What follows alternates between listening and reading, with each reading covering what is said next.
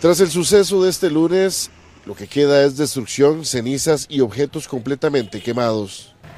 Aquí estuvieron durante más de cinco horas un autobús y el vehículo de carga liviano, accidente que dejó como saldo una persona calcinada.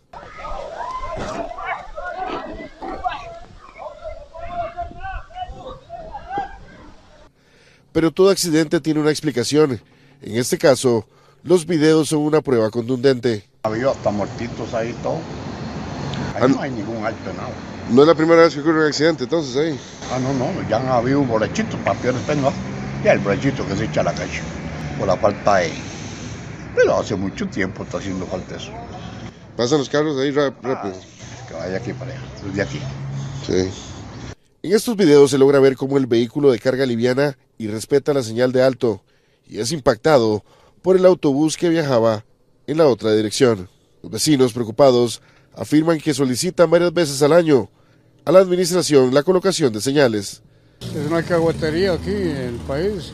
Las señales se las llevan tiro a tiro y el gobierno le va a costar demasiado dinero eh, estar reponiendo eso.